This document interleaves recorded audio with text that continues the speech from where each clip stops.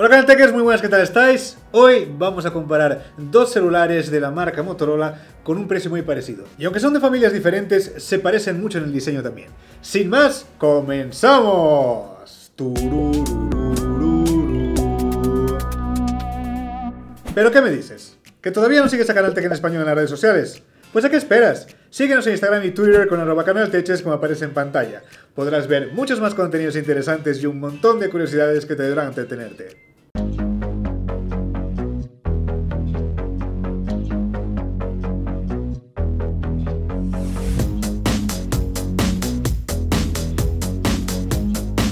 Antes de comenzar, algunas consideraciones iniciales. A pesar de que los dos teléfonos fueron lanzados en 2020, el One Fusion, este aquí, es un poco más actual, siendo que comenzó a ser vendido en julio de este mismo año, mientras que el G8 Power, este que tengo aquí, fue en abril. Ok, no es mucha la diferencia, pero está bien saberlo. Una vez dicho esto, que comience la batalla. Diseño y construcción. Bueno, como comentaba al principio del video, por más que tenemos aquí dos celulares de familias diferentes, ambos se parecen mucho, con el mismo módulo de cámaras en formato de semáforo, como pueden apreciar aquí, y separado del centro, además del sensor de huellas aquí con el típico logo de Motorola. La verdad es que el acabado me pareció bastante soso en los dos casos, y el One Fusion Plus lo tiene disponible en verde, que sería este, un verde oscuro, y azul oscuro también. Ya el G8 Power está disponible en azul, que sería este, y en negro. Otra cosa es que los dos vienen con plástico, como era de esperar viniendo de Motorola y hablando de su gama media de smartphones. Aunque el G8 Power tiene un pequeño diferencial, aquí lleva en sus laterales aluminio. En principio, todo está muy parecido hasta que nos preguntamos por los altavoces de los celulares. Y el caso es que Motorola tomó la desafortunada decisión de incorporar altavoz en la parte trasera del Moto One Fusion. Lo que hace que sea mucho más fácil taparlo cuando los tienes en tus manos. Ya el G8 Power viene con sonido estéreo y ninguno de esos altavoces está en esa posición. Referente a las dimensiones, son prácticamente lo mismo. El One Fusion es un poquito más alto y un poquito más estrecho, pero bueno, casi no se aprecia. Ya el peso ronda los 200 gramos en los dos casos, así que son un poquito pesados para mi gusto. Otras consideraciones es que los dos vienen con entrada de 3.5 mm para auriculares, One Fusion también, y entrada USB-C en la parte inferior, y G8 Power. Poco más que decir por aquí, existen pequeñas diferencias entre uno y otro, como el uso del aluminio en los laterales del G8 Power, o la pantalla un poquito mayor en el caso del One Fusion, pero lo que realmente va a declinar la balanza para el G8 Power aquí es el tema del altavoz en la parte trasera del One Fusion. Eso definitivamente fue un grave error en el diseño, así que punto para el Moto G8 Power en diseño y construcción. Display más multimedia. Para eso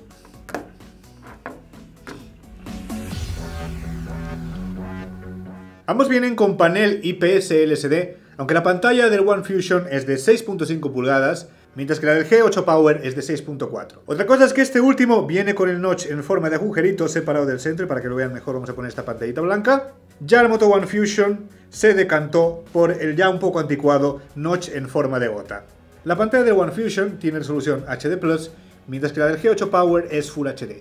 Y aquí sí tenemos una diferencia significativa, porque con ese tamaño de pantalla se nota cuando estamos viendo algo en Full HD y cuando no. Otra cosa a tener en cuenta por aquí es que el G8 Power viene con sonido estéreo, mientras que el One Fusion no. Esta cuestión y el tema de venir con resolución HD Plus acaba dando el punto al G8 Power en display más multimedia. Hardware y rendimiento. Bueno, aquí las tornas ya van a comenzar a cambiar. En el interior del G8 Power tenemos Snapdragon 665 octa-core de 11 nanómetros, es decir, el típico procesador de la mayoría de celulares de gama media, así que sin novedades por aquí, y el desempeño va a acabar siendo dentro de lo esperado. Ya en el caso del One Fusion, lo que tenemos por aquí es Snapdragon 710 octa-core de 10 nanómetros, y además de ser un procesador más moderno, también es más potente en general. Ya sea navegando por el sistema, o por ejemplo abriendo algunas apps, y para eso, fíjense, por ejemplo, Vamos aquí y vamos a abrir Google, no, eh, Maps al mismo tiempo, ¿vale? Fíjense que el One Fusion es más rápido y vamos ahora, por ejemplo, a fotos. El One Fusion es más, más rápido también. A ver, no es mucha la diferencia aquí, porque en juegos y demás sí que se nota que el One Fusion es bastante más potente que el G8 Power, ¿de acuerdo? Multitarea, es decir, con procesos un poquito más complejos. Los dos vienen con Android 10 de fábrica y comienzan en 4 GB de RAM y 64 de memoria interna. Así que nada, el desempeño del One Fusion es mejor y se agradece porque las cosas cada vez exigen más agilidad en el procesamiento, más velocidad de respuesta, en fin. Punto para One Fusion en hardware más desempeño. ¡Cámaras!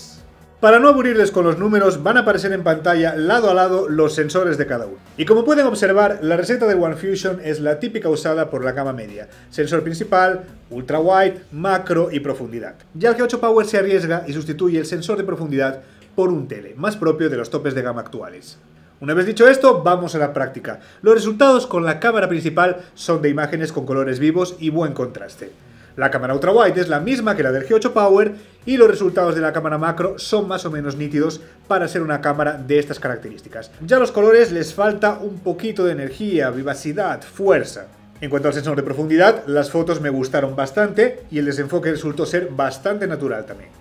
Una vez dicho esto, los resultados en condiciones de poca luz con la cámara principal son ok, se consiguen salvar algunos detalles y las imágenes no tienen tanto ruido. Bien, vamos a hablar ahora de los resultados del G8 Power, y con la cámara principal en buenas condiciones de luz, obtendremos imágenes con un alto nivel de detalles y aparecen bastante nítidas. Aunque los colores salen medio muertos y el contraste es poco atenuado, es decir, todo lo contrario al sensor del One Fusion. En cuanto al sensor tele, debo decir que esta decisión por parte de Motorola me pareció bastante valiente, porque este tipo de sensores suelen ser bastante caros y Motorola intentó aquí que la gama media adquiriese de alguna forma este tipo de lentes, así que bravo Motorola, pero se acabó muriendo en la orilla, porque en la práctica los resultados fueron bastante mediocres y en todas las fotos se ve una especie de neblina que indica la falta de calidad de este sensor. Las cámaras con el sensor macro no salen del todo mal, pero definitivamente 2 megapíxeles es muy poco y eso acabó repercutiendo en la calidad final de las imágenes. Ya las fotos con la cámara principal en malas condiciones de luz dejan bastante que desear. Aunque aquí, en lugar de mucho ruido, lo que el postprocesamiento del G8 Power hace es dejar la imagen como si de un cuadro con acuarela se tratase para suavizar esto. No sé qué es peor, sinceramente, el remedio o la enfermedad. Para finalizar este punto, vamos a hablar ahora de las selfies de los celulares. El One Fusion viene con cámara frontal de 8 megapíxeles y focal de f2.0, mientras que el G8 Power viene con cámara frontal de 16 y la misma focal. Los resultados en el caso del One Fusion vuelven a ser de imágenes con colores vivos y buen contraste como pasaba en el sensor principal, y el modo retrato aquí me pareció bastante natural, aunque el recorte entre lo que aparece enfocado y lo que no necesita mejorar. Ya los resultados con la cámara frontal del G8 Power me gustaron bastante menos, a pesar de venir con más resolución, las fotos son de peor calidad. Concluyendo este apartado, la cámara principal del One Fusion parece que resolvió los problemas de la cámara principal del G8 Power, ya con eso podríamos darle el punto, pero continuamos, ¿eh? La ultrawide es la misma, el sensor tele definitivamente está poco maduro en el Power y acaba ganando el de profundidad del One Fusion, que me dejó bastante contento con los resultados. Ya la cámara macro, a pesar de que, sin más en los dos casos, es un pelín mejor en el One Fusion, y la cámara frontal también hace mejores fotos con el Fusion, así que me imagino que ya lo sabrán. Claro vencedor en fotografía, Moto One Fusion. ¡Batería! Vamos a empezar diciendo que los dos celulares vienen con el mismo tamaño de batería, son 5000 mAh de tanque en los dos casos, así que en principio tenemos amplias baterías por aquí. En el caso del One Fusion, la autonomía en uso normal, y voy a especificar uso normal, mirar tus redes sociales de vez en cuando, accesar a tus aplicaciones de mensajería instantánea con frecuencia como WhatsApp y Telegram, atender alguna que otra llamada, estar atento a tu correo electrónico y usar algunas otras apps del día a día, además de ver algunos vídeos y jugar esporádicamente. Con este panorama, el One Fusion aguanta dos días sin necesidad de cargar el celular, así que es un excelente resultado. El mayor problema que veo aquí está en el cargador que es apenas de 10 vatios. Eso es muy poco para semejante tamaño de batería. Así que tendrás que esperar tranquilamente unas 2 horas y media para cargar tu celular del 0 al 100. Ahora, cuando escuchas Power, ¿eso a qué te remete? A buena autonomía energética, ¿no? Pues la verdad es que el G8 Power no llega ni de lejos a los resultados del One Fusion. ¿Y por qué se preguntarán si vienen con el mismo tamaño de batería? La respuesta no es tan simple, pero digamos que es un cúmulo de cosas. El procesador del G8 Power gasta más que el del One Fusion. La pantalla del One Fusion tiene menos resolución, en fin. Todas esas cosas influencian y al final el G8 Power te aguantará un día y medio en uso normal sin necesidad de cargarlo. Donde sí que gana es en la carga rápida, que el G8 Power viene con 18 vatios. Aún así, este punto trata de autonomía energética y ahí es claramente mejor el One Fusion, así que Punto para la Moto One Fusion en batería. ¡Precio! Como comentaba al principio del video, la diferencia de precio entre uno y otro es muy poca. El One Fusion, recién lanzado, estaba saliendo por algo menos de 200 dólares en la fecha de creación del vídeo. Ya el G8 Power rondaba los 180, así que es una diferencia simbólica. De cualquier forma, como el G8 Power es más barato hoy, punto para el G8 Power en precio. Bien amigos y amigas de Canal Tech en Español, vamos al recuento final y ver quién gana. Moto One Fusion con... 3 puntos. En hardware más rendimiento, cámaras y batería. Moto G8 Power con... 3 puntos en diseño y construcción, display multimedia y precio. Pues sí, queridos amigos y amigas, tenemos un empate, pero déjenme antes aclararles algo. Hay puntos como el desempeño, cámaras y batería, en los que la diferencia entre uno y otro es bastante grande y el precio es prácticamente igual en los dos. El apartado multimedia, de hecho, es mejor en el G8 Power, pero lo que quiero decir es que, llevando en consideración los puntos en los que gana el One Fusion, definitivamente yo me quedaría con él. Pero ¿y tú? ¿Qué me dices? ¿Estás de acuerdo conmigo? Cuéntame acá abajo, déjate un like para que haga más vídeos como este. Y te veo aquí en Menos que Canta un Gallo, ¿eh, Canal Tecker? ¡Hasta pronto, familia! Like, like, like, like, like, like.